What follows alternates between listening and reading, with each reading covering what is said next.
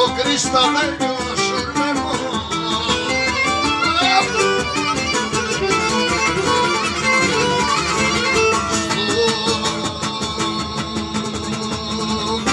Στο κρυσταλλένιο